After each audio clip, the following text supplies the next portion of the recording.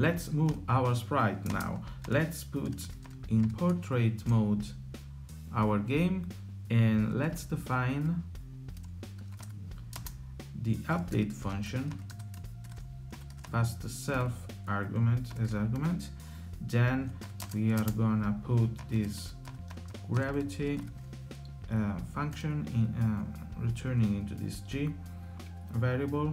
And if this the absolute value of g dot y that will take the movement of our iPad will be more than 0 0.05 then we will have uh, let's put some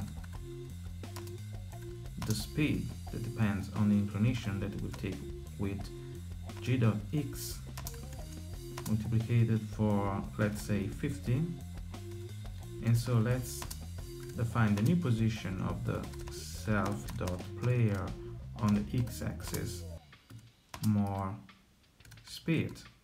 So this is the new position depending on the inclination.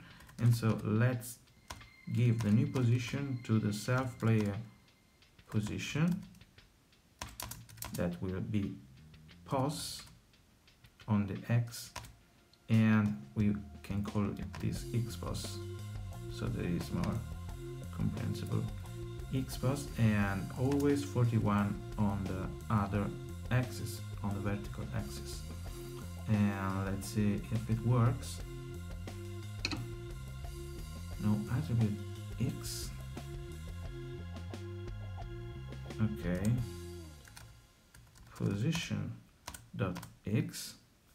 We forget this. And let's see if it works and as you can see it works and it goes faster with the speed parameters depending on the inclination and go less faster. It doesn't move and it doesn't have any limit when it comes to the to the end of the screen. And we will see in the next video how to fix this